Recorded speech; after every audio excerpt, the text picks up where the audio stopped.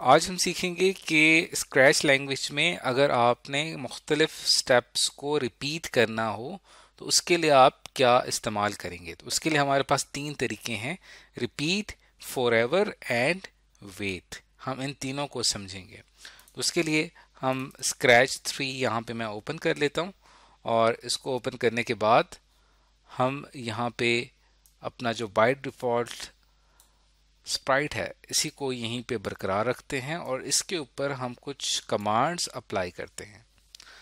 तो सबसे पहले कुछ सेट ऑफ़ स्टेप्स हम यहाँ पे डिज़ाइन करते हैं। जैसे कि सिंपल सा स्टेप है मूव टेन स्टेप्स अब ये जो मूव टेन स्टेप है, ये अगर इसको एक दफ़ा हमें चलाना होगा तो ये एक दफ़ा रन होगा। अगर हमें इसे रिपीट करना होगा तो हमें बार बार इसको यहाँ पे लेके आना पड़ेगा। अब आप देखेंगे मैंने फाइव टाइम्स यहाँ पे टेन स्टेप्स लेके आया हूँ। तो अगर आप किसी एक के ऊपर क्लिक करते हैं तो देखेंगे टेन स्टेप मूव कर जाएगा।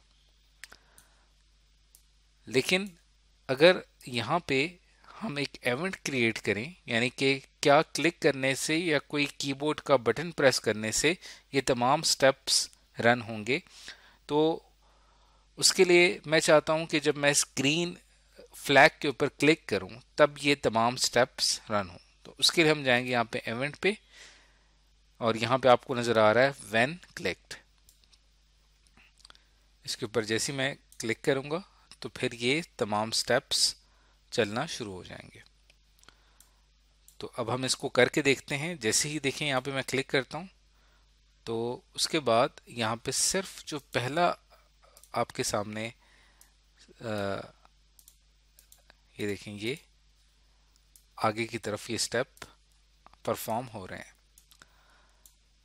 तो अब अगर हम यहाँ पे जाते हैं कंट्रोल पे और यहाँ पे आपको ऑप्शन नज़र आ रहा है रिपीट का और इसको हम यहाँ पे इनक्लोज कर देते हैं, इन स्टेप्स को।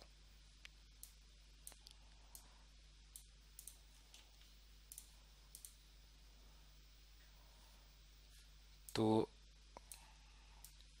अब अगर इसको देखा जाए तो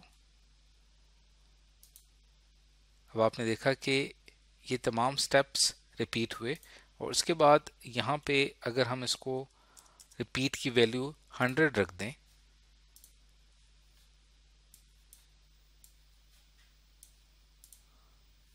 तो आप देख सकते हैं कि अब ये जितने भी स्टेप्स है काफ़ी तेज़ी के साथ रिपीट हो रहे हैं, क्योंकि अब हमने इसको एक लूप के अंदर इनक्लोज कर दिया है।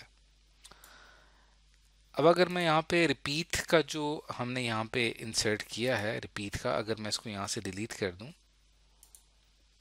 और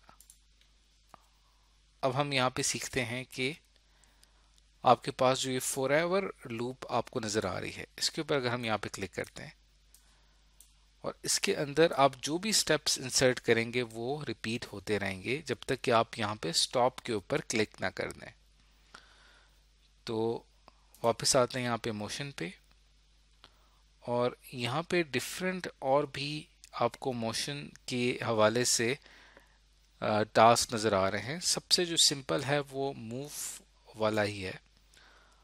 और इसके ऊपर अगर मैं यहाँ पे लेके आता हूँ इसको, और सॉरी, अब हमने इसके ऊपर एक इवेंट क्रिएट करना है।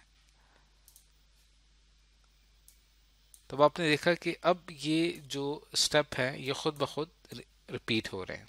पहले टेन स्टेप्स में सिर्फ़ इसकी टेन स्टेप्स तक मूवमेंट होती थी, लेकिन फॉर एवर लूप की वजह से अब वो कंटिन्यूसली लगातार दस स्टेप आगे की तरफ़ बढ़ रहा है।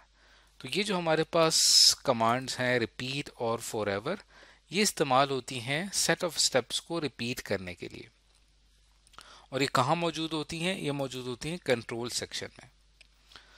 तो रिपीट फॉर एवर के साथ ही यहाँ पे आपको एक और ऑप्शन नज़र आ रहा है वेट का, जिसमें एक तरतीब के साथ जब स्टेप्स चल रहे हों तो कहीं पे अगर आप वेट करवाना चाहें, और उस ख़ास सेकंड उस ख़ास वक्फे के वेट के बाद आगे के स्टेप्स चलने हों तो उसके लिए हम यहाँ पे वेट का जो ब्लॉक है उसका इस्तेमाल करते हैं। अब इसकी हम यहाँ पे एक एग्जांपल लेते हैं।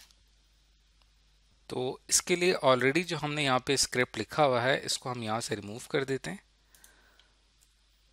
और यहीं पे ही जो हमारे पास ये स्प्राइट है इसको यहाँ पे हम बरकरार रखते हुए इसके अगर हम देखें तो आ, दो कॉस्ट्यूम्स हैं वन एंड टू तो यहाँ पे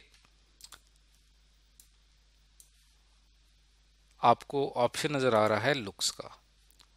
और यहाँ पे switch costume two costume two इसको अगर हम यहाँ पे लेके आते हैं, ताकि ये अपनी जो शक्ल है उसको चेंज करता रहे। और उसके बाद हम यहाँ पे जो कंट्रोल सेक्शन में वेट का वो है, यहाँ पे हम वेट इंसर्ट कर देते हैं 0.3 सेकेंड का। यानी इतने वेट के बाद वो अपना कॉस्ट्यूम चेंज कर देगा। लुक्स पे आते हैं और यहाँ से हमने इसको इंसर्ट कर दिया। अब देखें इस वक्त ये कॉस्ट्यूम वन पे है और इतने सेकंड के बाद इसका ये कॉस्ट्यूम चेंज हो जाएगा। फिर यहाँ पे क्लिक करेंगे कंट्रोल के ऊपर और फिर वेट पे आ, का जो ब्लॉक है इसका इस्तेमाल करेंगे और इसको भी मैं यहाँ पे कर देता हूँ ज़ीरो पॉइंट थ्री सेकेंड और वापस हम इसको कॉस्ट्यूम टू से कॉस्ट्यूम वन की तरफ़ मूव करेंगे। तो अब इसको हम रन करके देखते हैं। जैसे ग्रीन फ्लैग पे मैं क्लिक करता हूँ तो आप देख सकते हैं कि इस कॉस्ट्यूम की मूवमेंट की वजह से आपको कैट के अंदर एक तब्दीली महसूस हुई। और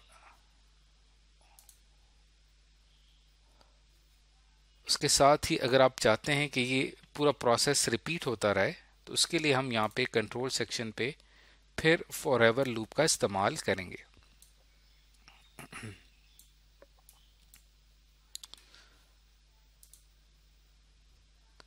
तो आप देख सकते हैं कि ये जो एक कॉस्ट्यूम से दूसरे कॉस्ट्यूम की तरफ़ स्विच कर रहा है, हर 0.3 सेकंड के बाद तो ये फॉर एवर लूप की वजह से ये तमाम स्टेप्स हमारे रिपीट हो रहे हैं। और इससे एक एनिमेशन सी क्रिएट हो रही है। और जब तक मैं स्टॉप पे क्लिक नहीं करूँगा, ये मूवमेंट जारी रहेगी। अब जैसे मैंने स्टॉप पे क्लिक किया, और यहाँ से हम कोई भी सरप्राइज़ बैकड्रॉप सीन इंसर्ट कर देते हैं। और अब अगर मैं इसके ऊपर क्लिक करता हूँ, तब आप देख सकते हैं कि आपको एक बैकग्राउंड सीन पे आपका स्प्राइट मूव करता हुआ नज़र आ रहा है। तो इस तरह से आप सेट ऑफ़ स्टेप्स को रिपीट कर सकते हैं फॉर एवर रिपीट और वेट का इस्तेमाल करते हुए।